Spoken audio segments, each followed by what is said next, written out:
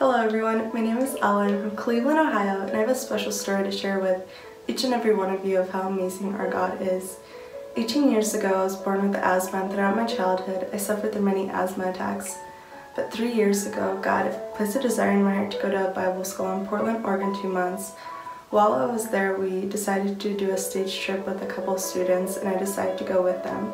During this trip, we visited many churches and testified and preached and did skits and participated in many churches. And one of the churches we ended up in was Hungry Generation.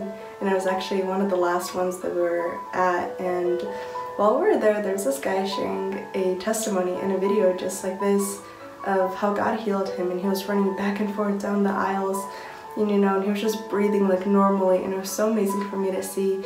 And in the moment I was thinking wow God like you can heal him. I know that you can heal me and when we were praying, just with every ounce of faith that I had, I proclaimed these simple words over my life.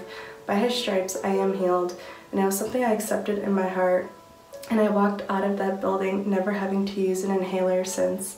It has been over three years and I've never picked up an inhaler.